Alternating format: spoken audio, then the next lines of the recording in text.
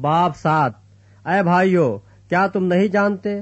میں ان سے کہتا ہوں جو شریعت سے واقف ہیں کہ جب تک آدمی جیتا ہے، اسی وقت تک شریعت اس پر اختیار رکھتی ہے۔ چنانچہ، جس عورت کا شوہر موجود ہے، وہ شریعت کے موافق اپنے شوہر کی زندگی تک اس کے بند میں ہے۔ لیکن اگر شوہر مر گیا، تو وہ شوہر کی شریعت سے چھوٹ گئی۔ بس اگر شوہر کے جیتے جی دوسرے مرد کی ہو جائے تو زانیہ کہلائے گی۔ لیکن اگر شوہر مر جائے تو وہ اس شریعت سے آزاد ہے۔ یہاں تک کہ اگر دوسرے مرد کے ہو بھی جائے تو زانیہ نہ ٹھہرے گی۔ بس اے میرے بھائیوں تم بھی مسیح کے بدن کے وسیلے سے شریعت کے اعتبار سے اس لیے مردہ بن گئے کہ اس دوسرے کے ہو جاؤ جو مردوں میں سے جلایا گیا، تاکہ ہم سب خدا کے لیے پھل پیدا کریں۔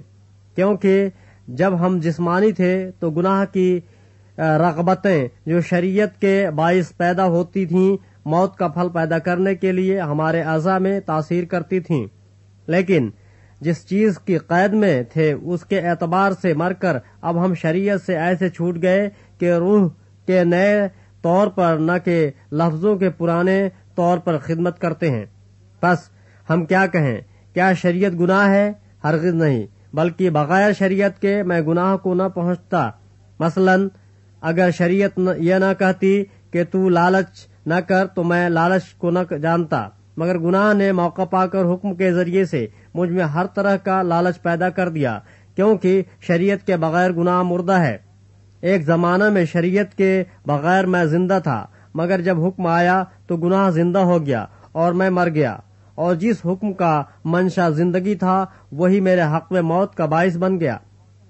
کیونکہ گناہ نے موقع پا کر حکم کے ذریعے سے مجھے بہکایا اور اسی کے ذریعے سے مجھے مار بھی ڈالا۔ بس شریعت پاک ہے اور حکم بھی پاک اور راست اور اچھا ہے۔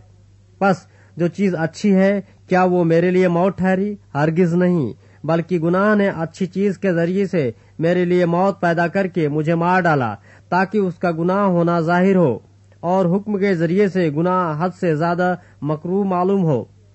کیونکہ ہم جانتے ہیں کہ شریعت تو روحانی ہے، مگر میں جسمانی اور گناہ کے ہاتھ بکا ہوا ہوں۔ اور جو میں کرتا ہوں، اس کو نہیں جانتا، کیونکہ جس کا میں ارادہ کرتا ہوں، وہ نہیں کرتا، بلکہ جس سے مجھ کو نفرت ہے، وہی کرتا ہوں۔